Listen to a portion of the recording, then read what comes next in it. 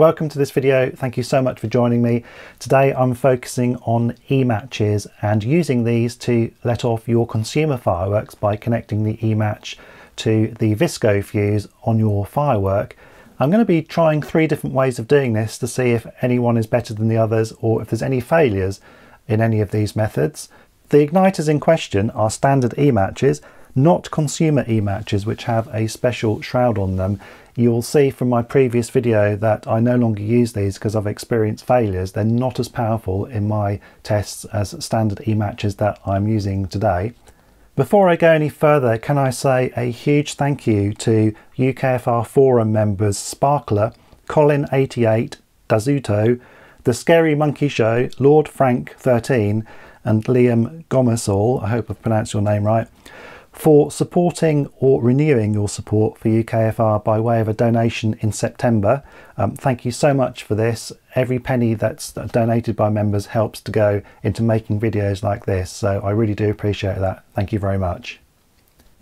Let's crack on then. We're starting with the cheap and cheerful method, which is shoving the fuse down the shroud and then pulling the shroud back up to make a snug fit, as you'll see here. Normal advice for good practice here would be to have some black powder in the fuse exposed to the igniter itself, but I'm intentionally pushing the fuse down so the black powder end goes beyond the igniter head.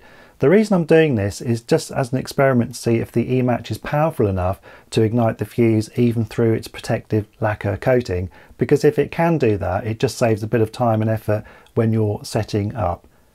Okay, so let's head out to the garden here come the first four, fired with my trusty DB04R.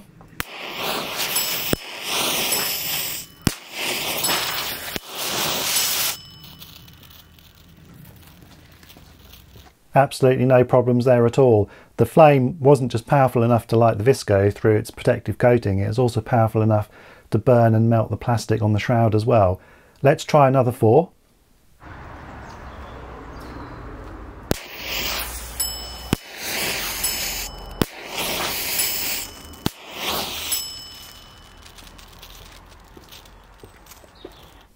Again, no issues there, and with the power of that E-match head, it's hard to see Visco not igniting in these circumstances.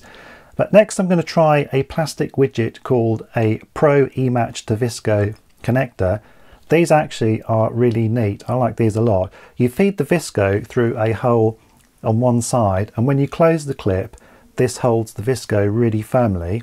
Next, you insert the E-match in its shroud in the other end this has the effect of keeping the whole clip closed when you let go. Finally, you can wind the igniter wire around the case. This helps to make a really, really firm connection. You can tug on this quite hard and it doesn't come apart. No tape is required here either. These cost between 20 and 30p each depending on quantity, so they are a bit of a considered purchase to add onto the cost of your igniter as well. Also I note that the way these are designed is the fuse goes in one end and the igniter in the other. I know it sounds like I'm stating the blindingly obvious, but it, it means that when the igniter goes off, the flame goes directly on the end of the fuse rather than the fuse going down the side of the igniter. So again, getting back to good practice, if you carefully cut off the protected painted end of your fuse on your consumer firework before putting it in one of these widgets, that will make sure that the igniter is firing its flame at some black powder. So let's head out to the garden and see how these did.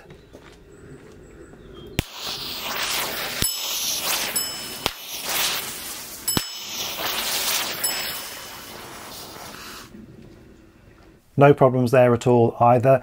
Moving on then to another type of connector. This is a more basic plastic connector. You put the igniter in one end and the visco fuse in the other.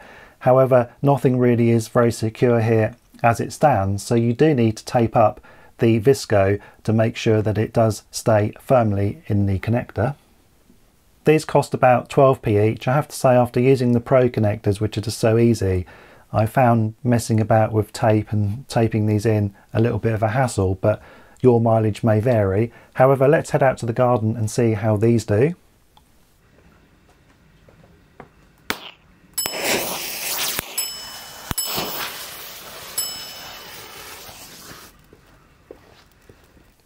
No problems there either. Okay, switching fuse now. Rather than use quite thick test Visco, I'm going to use much thinner, stringier fuse taken from actual live fireworks from a cheap selection box. If you've watched my video from October last year, you'll know that this thinner fuse really tripped up the consumer e-matches. They struggled to light this at all. So I'm going to push this down the shroud like I did in the first test. It's not such a snug fit, so in real life, if you want to do it this way, I think you'd need to tape them up as well. But let's see how we get on.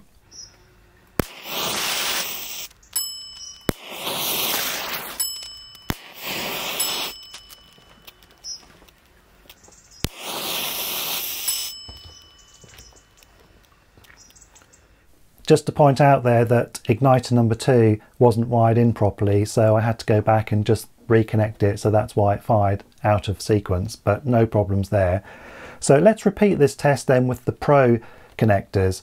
I was a bit worried that the thin Visco wouldn't be gripped quite as tightly when you closed the clip, but in actual fact it was just as good with the thinner Visco as it was connecting to the thicker stuff. But let's see how this one gets on.